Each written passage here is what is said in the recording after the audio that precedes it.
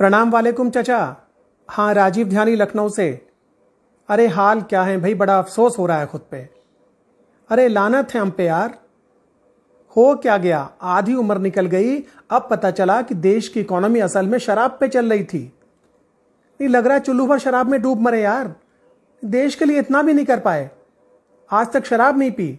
हाँ हमसे ज़्यादा देशभक्त तो कम्युनिस्ट हैं। हाँ हाँ कम्युनिस्ट कम से कम दारू पी के देशभक्ति तो साबित कर देते हैं। लेकिन चचा यार, मुसलमानों ने फिर से दिल तोड़ दिया कसम से। फिर से चूक गए। कितना अच्छा मौका था यार, वतन के लिए वफादारी ज़ाहिर करने का। अम्मा पीते नहीं, खरीद तो सकते थे। किसी को पिलवा तो सकते थे। नहीं, कुछ नहीं तो थूक के ही पिला देते यार। हाँ पीने वाले वैसे भी कोई थूक उक का परहेज नहीं मानते। नहीं, वैसे भी यार, देश इतनी बड़ी दुश्वारी में है। सरकारों के पास तनख्वाह देने को पैसा नहीं है। बीमारी वैसे ही फैली पड़ी है। क्या कह रहे हैं? बीमारी फैली है तो साहेब क्या कर रहे हैं? अमा ज़्यादा फालतू बात ना किया करो यार, हर समय साहेब के पीछे पड़े रहते हो। कोई बीमार पड़ता है तो क्या करते हैं, बताइए? दवा दारू करते हैं ना? तो दारू का इंतज़ाम साहेब ने कर दिया। दवा का आप खुद कीजिए। नहीं, आवाम को खुद में तब्दीली लानी पड़ेगी यार। अरे व्हाट्सएप की संतान, फूट जाए तुम्हारे मनहूस कान। तबलीगी नहीं, तब्दीली कह रहे हैं। तब्दीली, बदलाव। हाँ यार, एक तो वैसे ही मूड खराब है।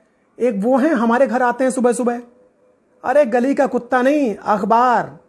दुनिया का सबसे बिका हुआ बदकार और सॉरी, अखबार, वो कह रहा है हाँ कि दारू पीने वाले सबर रखें। अबे, सरकार ने सबर रखा क्या? और बिके हुए अखबार? तुम खबर छापने में सबर रखते हो क्या? खबर का सबर? हाँ तो फिर पीने वाले काय को सबर रखें? कोई ज़रूरत नहीं, हम कह रहे हैं। हचक के पियो, इतना पियो कि उल्टियाँ होने लगे, किडनी फेल हो जाए, लीवर जल के कोयला बन जाए। हाँ देश के लिए जान देने का समय है यार। ये मौका फिर कहाँ मिलेगा? ये गाना नहीं सुना? जान देने की रुत रोज आती हाँ। हम तो कह रहे हैं कि सरकार को दारू के ठेकों के पास चिखने का भी और नमकीन का भी इंतज़ाम करना चाहिए। हाँ खबरदार जो इन्हें दारूबाज कहा। जाहिल आदमी? मधुशाला नहीं पढ़ी? नहीं, उर्दू की शायरी नहीं पढ़ी आपने? मीर को पढ़िए। मीर उन नीम बाज आँखों में सारी मस्ती शराब की सी है। और सुनिए, आए कुछ अब्र, कुछ शराब आए। इसके बाद आए जो अजाब आए। बामे मीना से महताब उतरे। दस्ते साकी में आफताब आए। हमा ये शराबी नहीं है। ये असली योद्धा हैं। हाँ हासिल फ़िल्म में इरफान भाई ने अपने चमचों से क्या कहा था? अबे तुम गुरिल्ला हो, गुरिल्ला। हाँ तो इन्हें मामूली शराबी न समझिए। ये सुरा के संग्रामी हैं। हाँ दारू के दिलावर। शराब के सूरमा। अंग्रेज़ी में? अंग्रेज़ी में लिकर लिजेंड्स। Liquor legends. हाँ नहीं, लोग ठीक कह रहे हैं, यार, जहाजों से जो फूल अस्पतालों पे बरसाए हाँ वो फूल दारू के ठेकों पे बरसने चाहिए थे। वैसे एक बात सुनिए चचा, साहेब ने हवाई जहाज़ से फूल बरसाए। इस एक सेंटेंस में चार बड़ी बातें छुपी हुई हैं, यार। बताएँ, पहली बात तो इसमें खुद साहेब हैं हैं, और दूसरा इसमें जहाज़ है। जहाज़ से ही पूरी दुनिया घूमते हैं साहेब। तीसरा इसमें है फूल अबे छह साल से फूल ही तो बना रहे हैं आपको? हाँ वही वाला फूल। और चौथी बात क्या है, इसमें है हवाई। हाँ हवाई की तो पूछिए मत। हमें तो लगता है कि भारत में गलत पैदा हो गए। इनको हवाई द्वीप में पैदा होना चाहिए था। हाँ यार, नहीं, मजदूरों के लिए रेल चलाई उसमें भी खेल कर दिया है। हाँ ऐसी विकट स्थिति में भी टिकट ले रहे हैं मजदूरों से। हाँ वो मजदूर जिनके पास खाने को रोटी नहीं है।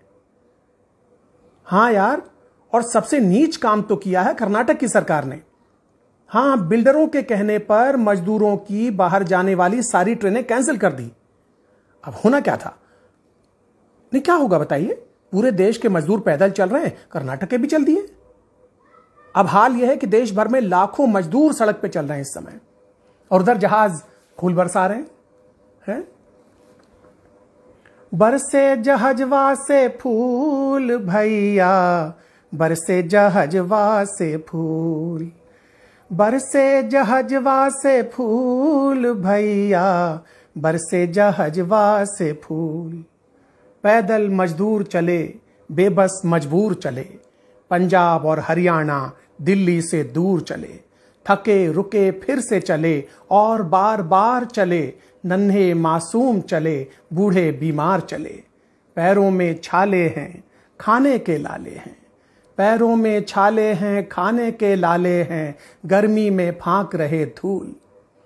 गर्मी में फांक रहे धूल, भैया। बरसे जहजवा से फूल।